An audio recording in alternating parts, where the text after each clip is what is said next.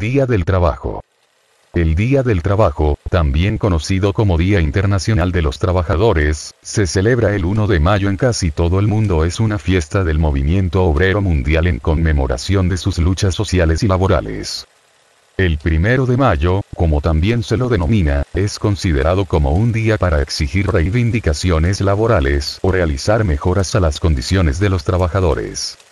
Fue declarado como fecha conmemorativa en el Congreso Obrero de la Segunda Internacional Socialista, celebrado en París en 1889, en reconocimiento a los mártires de Chicago.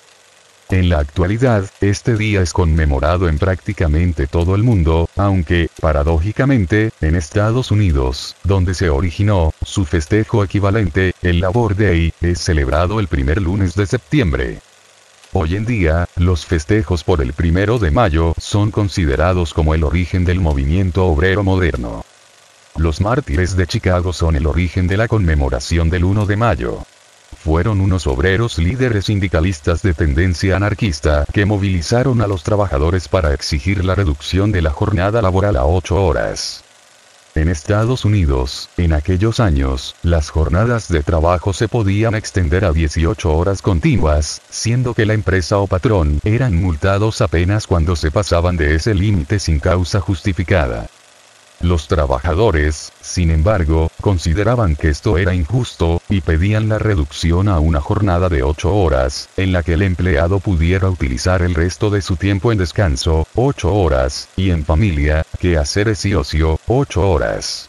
Así, pues, en el año 1886, los trabajadores amenazaron con iniciar una huelga si los patrones no accedían a la petición.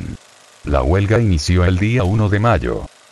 En Chicago, una de las ciudades con mayor masa laboral del país y donde las condiciones de trabajo eran precarias, la huelga se prolongó durante varios días, hubo enfrentamientos entre policía y manifestantes, varios muertos y decenas de heridos. En la Plaza y Marqués de Chicago, el día 4 de mayo, la tensión alcanzó un punto álgido. Un artefacto explosivo estalló, hubo decenas de detenciones y heridos. Entre los detenidos, ocho fueron hallados culpables, y de ellos, cinco fueron a prisión y tres fueron condenados a pena de muerte. A ellos se los bautizó como los mártires de Chicago, por su sacrificio en la lucha por las reivindicaciones laborales del movimiento obrero.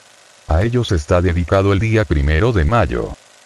Finalmente, se logró que los sectores patronales accedieran a implementar la jornada laboral de 8 horas, que perdura hasta hoy en buena parte del mundo occidental.